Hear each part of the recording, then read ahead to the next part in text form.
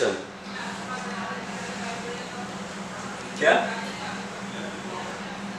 कौन सी सरकार सर, ये जहाँ पे आप बैठे हैं ना, यहीं से सरकार बनती है और यहीं से सरकार गिराई भी जाती है। हाँ। हमारी उम्र में मत जाइए आप लोग। बत्तीस साल की लेकिन सत्ता की गलियारों में हम स्टूडेंट लाइफ से विज़िट मारते हैं। और ये भी मत समझिए कि सिंह साहब तो लॉयर है पॉलिटिक्स से लेना देना है नहीं। ना। पॉलिटिक्स और लॉयर के बीच में जो रिश्ता है ना, वो आज का नहीं है। आज़ादी के टाइम से। नहीं समझे आप लोग। अच्छा बताइए, इस देश को आज़ादी कौन दिलाया? हाँ? इस देश को आज़ादी कौन दिलाया? वकीलों ने। हाँ? नेहरू जी, गांधी जी, सरदार पटेल, डॉक्टर अंबेडकर, ये सब कौन थे? वकील। इसलिए, इस मामले में हमारे क्रेडिबिलिटी भी कभी शक मत कीजिए। शर्मा जी को तो जानते ना। अरे भाई, एक से मिले शर्मा जी हाँ। क्या हुआ? पिछले बार गांधी मैदान में उसके लिए नारा लगाया था। क्या था नारा मालूम है? नेता नहीं, फकीर है। देश की तकदीर। पर क्या हुआ? हाँ? ससुर जब दिल्ली पहुँचा।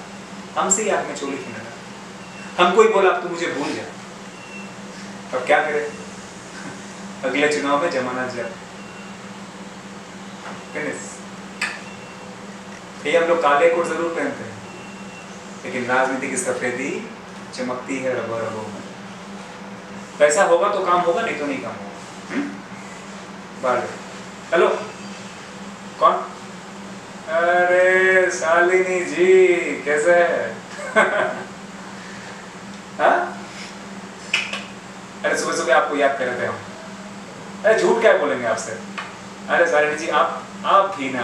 नहीं नहीं। हाँ शालिनी जी।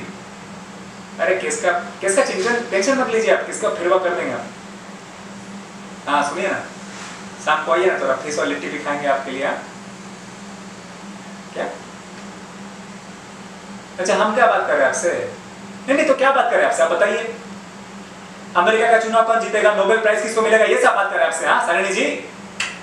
आप भी ना अरे आदमी जब पूरा दिन काम करके थक जाता है ना तो रात को थोड़ा मज़े करना चाहता है। ठीक है? चलिए, आना तो आ जाइएगा अरे बेटे की वो, बोला ना, पैसा होगा तो काम होगा, नहीं तो नहीं काम होगा, बाहर जाओ। हाँ छोटू, दूसरे टाइम बोला।